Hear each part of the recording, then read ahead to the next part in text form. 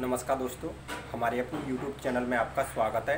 दोस्तों, आज का दिन एमपी एमपी बोर्ड के जो स्टूडेंट है ट्वेल्थ क्लास के लिए के, उनके लिए आज दोस्तों एक राहत की खबर आई है। एक बात को लेकर एमपी बोर्ड के जो ट्वेल्थ क्लास के स्टूडेंट थे, बहुत ज़्यादा परेशान थे कि एमपी बोर्ड के ट्वेल्थ क्लास के एग्ज़ाम जो है होंगे या फिर नहीं होंगे।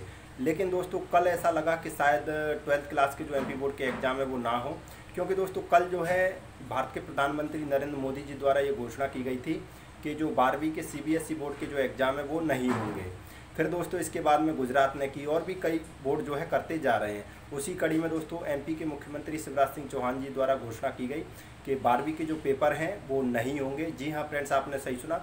दसवीं के पेपरों की घोषणा तो दोस्तों पहले ही हो चुकी थी कि नहीं होंगे। अब दोस्तों बारहवीं के पेपरों की घोषणा हो गई है कि नहीं होंगे ये पेपर। और लेकिन अभी ये नहीं बताया गया किस प्रकार से जो है आ, उनका जो रिज़ल्ट है वो बनेगा।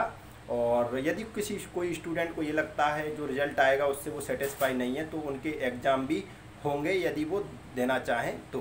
तो ठीक है फ्रेंड्स जो बारहवीं के एग्ज़ाम है वो नहीं होंगे, रद्द कर दिए गए हैं एमपी बोर्ड के। धन्यवाद।